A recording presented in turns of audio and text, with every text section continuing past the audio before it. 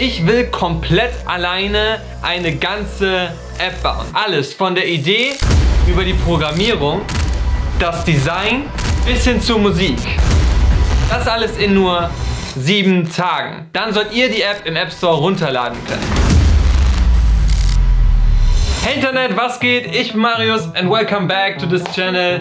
Also, wir haben jetzt quasi hier gerade Tag 1, aber schon 19 Uhr. Immerhin habe ich schon eine Idee.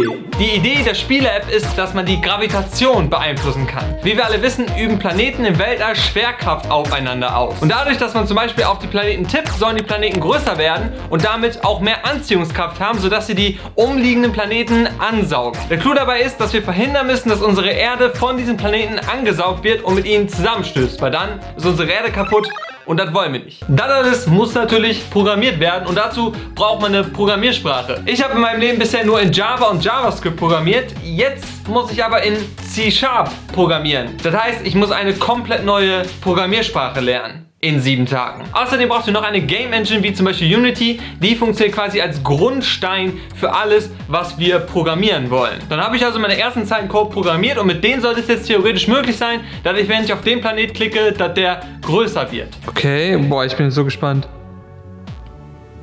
Okay. okay, er wird schon mal größer. Ganz, ganz einfach gesagt könnt ihr euch Programmieren quasi so vorstellen, dass ihr dem Computer eure Logik beibringt. Das heißt, wenn ihr zum Beispiel sagen wollt, wenn diese beiden Objekte gleich groß sind, dann mache das, würde das in der Programmiersprache C-Sharp so aussehen, if, Klammer auf, erstes Objekt gleich groß mit zweitem Objekt, Klammer zu, dann mache das, was in dieser Klammer steht. Es funktioniert was. Und ich hätte nicht gedacht, dass das so schnell funktionieren wird. Dieser neue Code hier, der hat es echt in sich, denn damit habe ich die echten Newtonschen Gravitationsgesetze, das ist unter anderem diese fancy Formel hier, in unsere App programmiert. Das heißt, unsere Planeten verhalten sich jetzt nach den echten physikalischen Regeln, zumindest mehr oder weniger. Das heißt, umso größer der Planet wird, umso schneller fliegt die Erde auf den Planeten zu. Leute, die erste spielbare Version ist fertig. Und die sieht so aus, die Planeten fallen schon. Und wenn ich dreimal tippe, verschwinden die jetzt. Und dadurch ergibt sich diese coole Mechanik, dass ich quasi steuern kann, wie lang der Planet beeinflusst wird. Das sieht schon ziemlich nice aus, aber sind wir ehrlich, es fehlen noch tausend Sachen. Zuerst habe ich noch programmiert, dass der Hintergrund mitscrollt. Dann habe ich noch ein Punktesystem programmiert. Und wenn die Planeten kaputt gehen, so eine kleine Partikelexplosion hinzugefügt. Aber erstmal geht es weiter mit Tag Nummer 3. Habe ich hier meinen ersten Spieltester. Ich Simon weiß zwar, dass ich eine App baue, aber gar keinen Plan, was es für ein Spiel ist. Ich bin so froh, ich bin so überrascht vor allem, dass es nach zwei Tagen schon spielfähig ist. So. Okay, also ich sehe eine Welt. Okay, warte mal, also ich muss irgendwie bestimmt da durchkommen. Weg damit. Okay, man muss die zerdrücken und dann gehen die weg. Crazy. so voll unimpressed. Je größer die Dinger sind, desto mehr Anziehungskraft haben die. Ja. Okay, und dann ziehen die die Erde und die Planeten an. Und es gibt noch einen Trick. Ja. Tipp mal irgendwo hin, wo du nicht, wo nichts ist. Ah, dann steht da auch Anziehungskraft. Genau, genau. Damit kannst du die Erde quasi auch ein bisschen lenken. Was denkst du so von dem Spiel an sich? Von dem Spielprinzip? Scheiße, ich glaube, ich werde süchtig. Wenn du das erstmal fertig programmierst, so. Und selbst wenn das jetzt alles läuft, gibt es noch ein ganz, ganz anderes Problem. Und zwar in der Spielidee an sich. Und zwar ist es momentan so, dass die Erde einfach unten chillen kann, während man einfach oben die ganze Zeit draufdrückt und die Planeten zerstört und es quasi keine Schwierigkeit mehr gibt. Und da ist die Frage, ob die Asteroiden nicht zu Objekten macht, die man nicht kaputt tippen kann, aber halt, dass man ausweichen muss. Aber genau das halt, ja genau. Genau, genau. Was ich halt glaube, was für wichtig ist, dass, dass, man, dass man auf jeden Fall das Gefühl hat, man macht das selber. Mhm. Und es ist nicht so, das Spiel sollte nichts automatisch für einen machen. Mhm. Boah, ich weiß nicht, wie ich das programmieren soll. Ich bin jetzt erstmal froh gewesen, das Spawn-System fertig zu haben. Mhm. Und das ist ein Problem, was ich komplett unterschätzt habe. Die ganze Feinjustierung am Spielprinzip an sich, wann welches Objekt kommt, wie schwer welches Objekt ist, damit das Spiel überhaupt Spaß macht, damit es nicht zu einfach ist oder viel, viel, viel zu schwer, sondern es muss ja genau in der Mitte sein. Das ist sehr viel schwieriger, als ich dachte. Alter, einen ganzen Tag programmieren und Leute, das ist der Fortschritt. Es ist echt sehr viel passiert. Also, wir haben ein Homescreen, wo wir auf Play drücken können. Auf Play drücken, haben wir hier unsere Erde, die wir jetzt ordentlich steuern können. Die Asteroiden, die kann man jetzt nicht mehr kaputt machen und die werden auch nicht mehr beeinflusst, die muss man quasi ausweichen. Ich habe so viele Bugs in der Physik gefixt noch, das war echt heftig. Und da seht ihr schon, wir haben oben mehrere Objekte jetzt, Sonnen zum Beispiel und einen Game Over Screen mit einem Score. Oh, Ich habe heute allein schon wieder 16 Stunden programmiert oder so.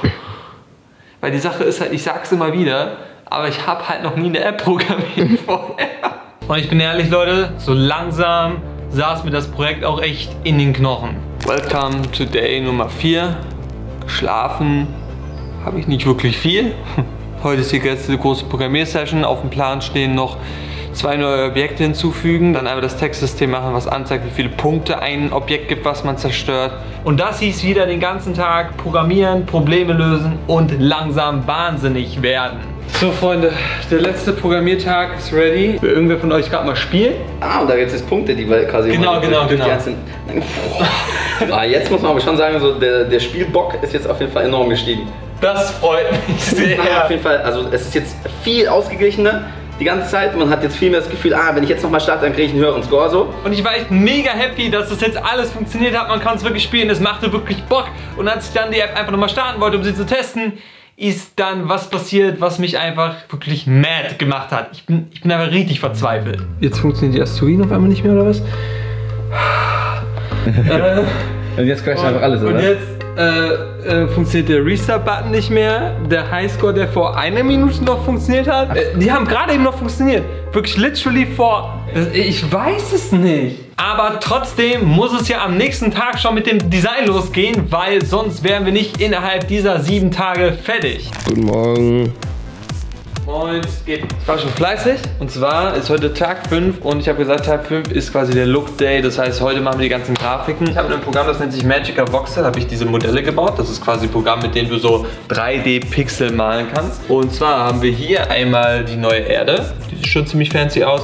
Klar, neue Planeten hier vorne. Das ist ein weißer Zwerg. Die Galaxie, finde ich, ist ziemlich cool geworden. Was noch fehlt, sind quasi diese Asteroiden. Die muss ich noch machen.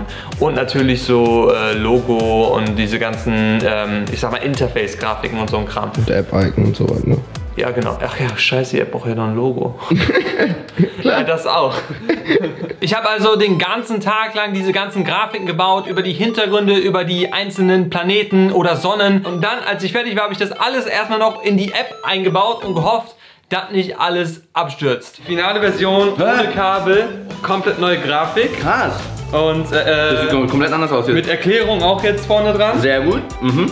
Boah, was? Es sieht halt komplett anders aus wie vorher. Ich habe einmal so richtig äh, Pixel-Move. Oh nice, das sind noch ganz viele verschiedene Kometen, gell? Ja, ja. Yeah, Da hast du ein paar verschiedene Grafiken gemacht. Was sagst du jetzt so zum Improved Look und allem? Ey, das fühlt sich halt direkt viel geiler an. Nice. Jetzt kommt noch ein neuer Testkandidat, der es noch nie gespielt hat. Voll süchtig noch. Kennst du dieses... Fazit von Julia Beauty.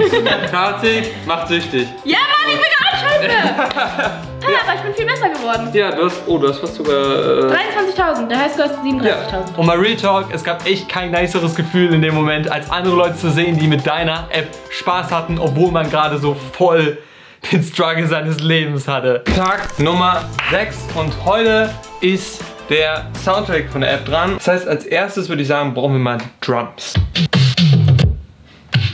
Ooh, now we need some chords. Fett. Bau, bau. Ich brauche noch eine geile Mello.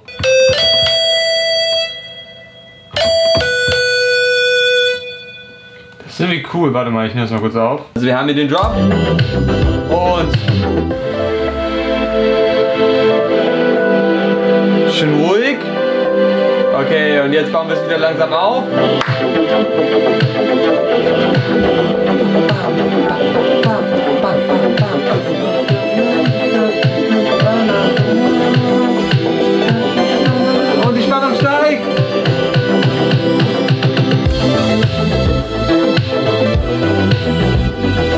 Jetzt produziere ich das Ganze so ein bisschen technisch aus und dann äh, kommt das Ganze in die App. Es ist der große Moment, ihr seht schon, es ist jetzt wirklich hier schon auf meinem App-Screen. Hier vorne ist die App Spacetime mit richtigem Logo und allem drum dran. Jetzt kann ich sie öffnen und es sieht dann so aus.